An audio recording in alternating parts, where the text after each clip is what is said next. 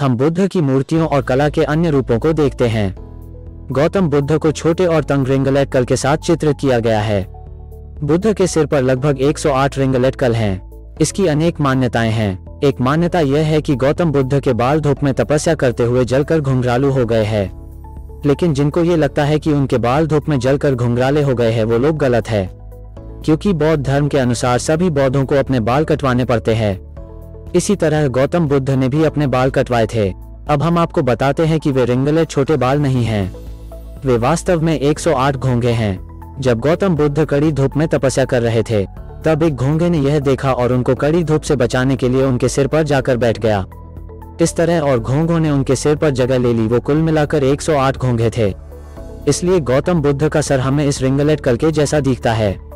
दोस्तों, क्या आपको इस फैक्ट के बारे में पता था? इसका जवाब हमारे कमेंट बॉक्स में ज़रूर बताएँ।